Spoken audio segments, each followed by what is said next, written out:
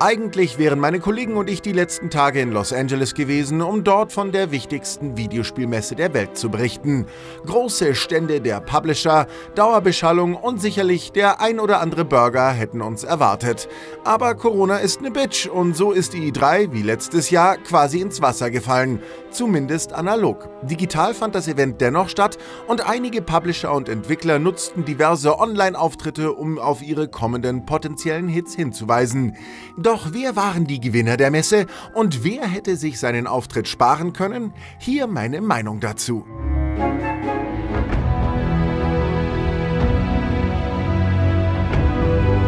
Ja, es stimmt, von Halo gab es in Anführungszeichen nur den Multiplayer-Modus zu sehen und auch zur angeblichen Zusammenarbeit zwischen Microsoft und Hideo Kojima gab es kein Wort, dafür aber durchaus einige starke Ankündigungen und Trailer potenziell guter Spiele. Allen voran natürlich Starfield. Ja, der Trailer hat jetzt kein Gameplay gezeigt, aber eben Hoffnungen in vielen Leuten hervorgerufen auf neue, unbekannte Spielwelten.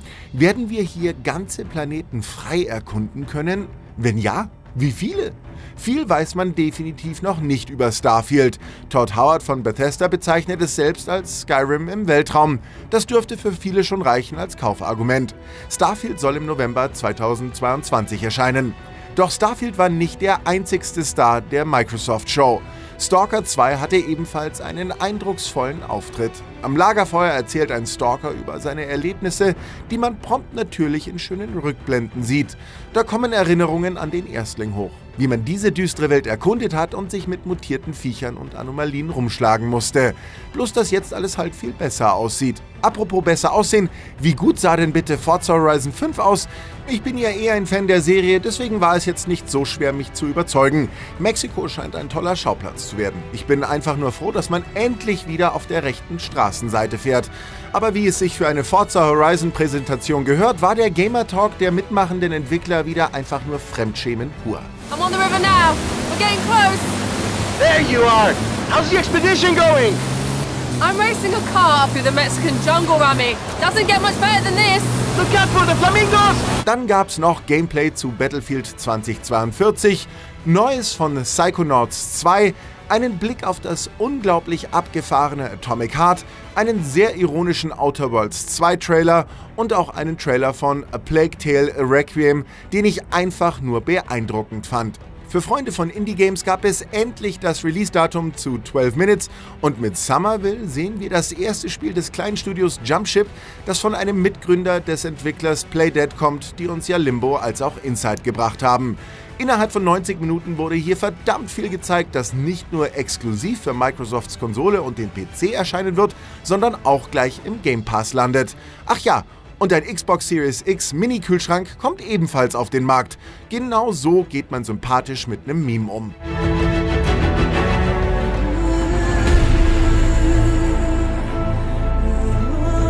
Wenn zur wichtigsten Messe der Branche einer der größten Player der Branche nicht mal antritt, dann ist das in meinen Augen einfach eine verpasste Chance, den Fans zu zeigen, was man in den nächsten Jahren alles geplant hat. Ja, Sony hat jetzt nicht das erste Mal der E3 den Rücken gekehrt und es wird gemunkelt, dass bald in einer State of Play-Sendung mehr gezeigt wird.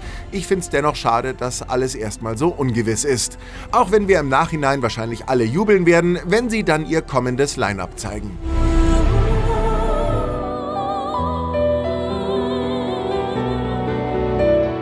Ich habe so unglaublich Bock auf das neue Breath of the Wild 2. Das ist auch nicht weiter verwunderlich, da Teil 1 für mich das beste Spielerlebnis ist, das ich wohl jemals hatte. Im Endeffekt war Teil 2 auch alles, was ich sehen wollte von Nintendo. Wie es aussieht, wird das Spiel eine ganze Ecke vertikaler als sein Vorgänger, denn wie man im Trailer sehen kann, schweben ganze Landstriche der Welt wohl weit oben in den Lüften. Ob Ganon dafür verantwortlich ist und kehren klassische Dungeons eventuell wieder zurück? Das wissen wir leider nicht. Dafür wissen wir aber, dass Link neue Fähigkeiten hat, womit er sich zum Beispiel durch festes Gestein quasi beamen kann. Leider werden wir uns noch ein bisschen gedulden müssen. Erst 2022 soll das Spiel auf den Markt kommen.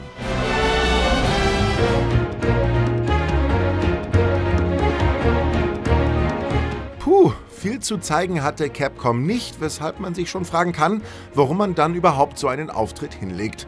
Auch wenn ich an dem, was es zu sehen gab, gar nicht so viel auszusetzen habe. Ace Attorney ist eine tolle Serie und hat auch jede Menge Fans. Mich störte eher die komplett unnatürlich dauergrinsende Moderatorin. Das war mir einfach zu fake.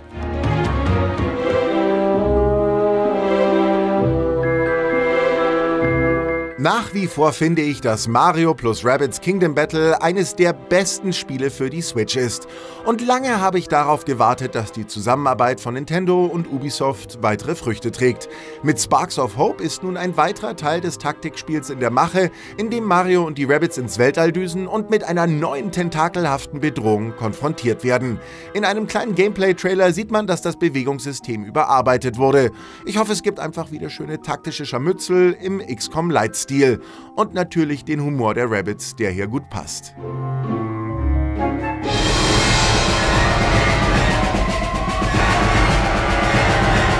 Die Koop Zombie Huts namens Left 4 Dead ist für viele Spieler auch heute noch eine der besten Multiplayer-Erfahrungen. Und schon lange wartet man auf einen Nachfolger. Der ist zwar erstmal nicht in Sicht, dafür wurden auf dieser E3 viele Spiele gezeigt, die mehrere Spieler im Koop-Modus gegen Monsterhorden antreten lassen. Da wäre natürlich Back 4 Blood von ehemaligen Left 4 Dead Entwicklern, dessen Ähnlichkeit man schon am Titel erkennt. Dann ist da Redfall von den Arcane Studios, das aussieht, als würde es Left 4 Dead mit Vampiren werden. The Anacrusis wird wohl Left 4 Dead im Weltraum mit Aliens und einem bisschen groovigeren Stil. Rainbow Six Extraction wirkt auch so, als hätte es eine große Portion Inspiration von Left 4 Dead abbekommen. Und Evil Dead the Game schickt auch eine Gruppe von Spielern gegen jede Menge Monster. Und das sind nur die Spiele dieser Art, die auf der E3 gezeigt wurden. Abseits dessen gibt es ja noch ein paar weitere Vertreter, die spielerisch im Endeffekt alle das gleiche machen. Auch wenn ich per se nichts gegen das Genre habe, schwappt hier auf einmal eine Welle mit zu vielen Spielen der gleichen Sorte auf uns zu. Noch bevor ich alle gespielt habe, habe ich das Gefühl, davon schon komplett übersättigt zu sein.